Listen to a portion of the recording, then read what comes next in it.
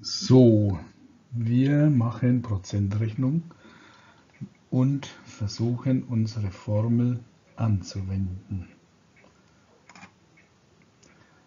Ein Beispiel. Oma Hertha bekommt 15% Rabatt auf ihren neuen Wäschetrockner. Das sind 49,20 Euro. Wie teuer ist der gesamte Trockner? Die Frage ist ja immer dieselbe. Was ist gesucht? Wie teuer ist der gesamte Trockner? Das ist schon ein Hinweis darauf, dass wir nach dem Ganzen suchen, also G Grundwert.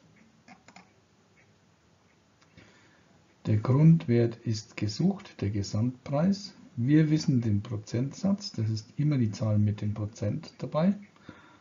Und wir wissen diesmal den Prozentwert 49,20 Euro, nämlich den Rabatt. Die Formel, die wir kennen, heißt W, also Prozentwert ist gleich Grundwert mal Prozentsatz geteilt durch 100. Wir können also den Prozentwert ausrechnen.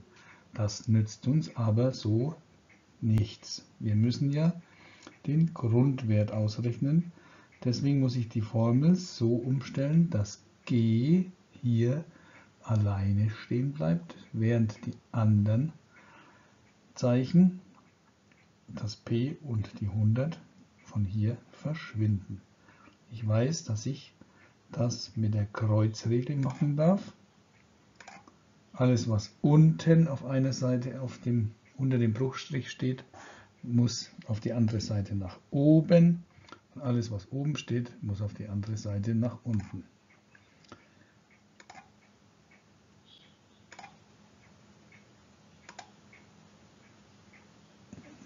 So, damit habe ich es geschafft, den Grundwert alleine zu stellen. Jetzt brauche ich also nur noch die Zahlen einsetzen. 100 mal die 4920 geteilt durch 15 ist 328 Euro. Das wäre also der Gesamtpreis für den Trockner.